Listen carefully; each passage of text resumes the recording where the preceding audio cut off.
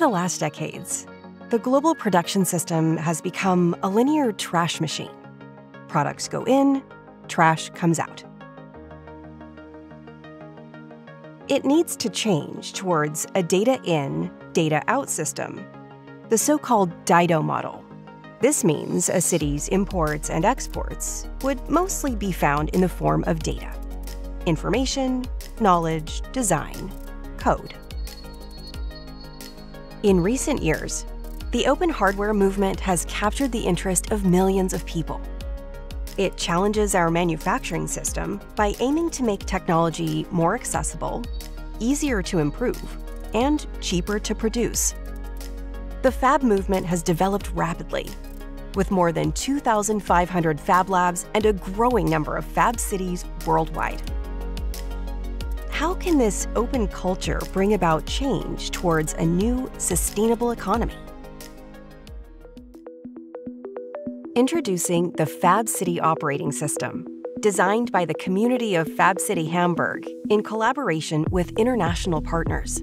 This innovative software provides digital infrastructure for circular design and circular manufacturing in cities, promoting open hardware development and sustainable manufacturing. Hi, I'm uh, Jaromil. I'm directing the Dyne.org Foundation. We are technical coordinators of the project, and we are very happy to cooperate with Fab City Hamburg. We are trying to power up this uh, uh, concept of a diffuse industry where designers can contribute to each other works, just like developers do already on uh, source code, but uh, on open hardware. And to do this, we need to standardize the processes and protocols of communication also the formats of designs. The Interfacer project is at the forefront of utilizing open standards to create a decentralized information system. With a focus on the Dido model, Fab City OS aims to tackle the challenges facing open source hardware projects by mapping out the entire product lifecycle, from a globally available design to a physical manifestation produced close to the final customer. This enables features like recycling, repairing, and more, helping to reduce production costs and bureaucracy. We try to put also this uh, uh, movement of designers, distributed the design movement, in touch with people able to produce the designs. For example, uh, if I'm very good with a 3D printer, laser cutter, and perhaps a milling machine, then I can download the design of the Interfacer platform from FabCityOS and uh, realize it uh, as a concrete object and even sell it over an e-commerce or uh, over my own uh, connections over my shop.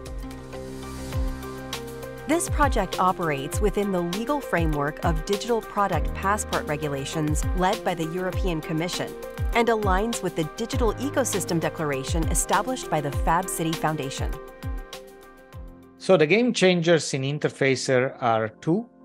One is the economic model, which is an inclusive model that helps bottom up initiatives to be born, thrive, and support people, participants within the fabric of a city as a production entity, a production unit. And we want to federate this economy of places, which leads to the second game changer. We have a federation model that leverages end to end cryptography with the possibility for people to own their data, to control the technology they use, and to be the sole owners of their signature, of their identity into a system that is distributed. The Fab City operating system presents a revolutionary economic model, supporting the sharing, tracking, and tracing of open hardware in a standardized form. This enhances collaboration and promotes fair agreements directly between users in a secure network. Globally connected productive communities are empowered to discover, remix, and improve designs and technologies like never before. This economic model, utilizing blockchain technology, facilitates fair revenue distribution based on contributions and agreements. The Fab City operating system transforms the traditional economic model offering a decentralized and equitable solution. What we want to uh, do Uh, for uh, places like Fab Cities, where designers and producers interact, is a system that takes into account their activity. Let's say there is a group of designers that worked for 10 years on a design of a new bike, a unique, let's say goes with the wind, not even electric.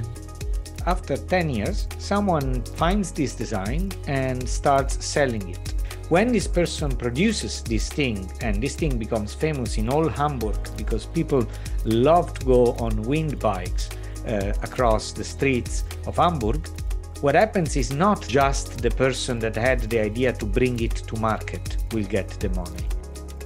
But through the digital product passport, we will be able to trace all the people that have contributed to this design. And in the meantime, we will also be able to split this reward among all people that have been active through the place. Fab City OS is not just another platform. It aims to support the many existing communities along the value chain of distributed design and sustainable local manufacturing with a sovereign digital infrastructure and ultimately transforms the linear waste machine into a sustainable circular economy.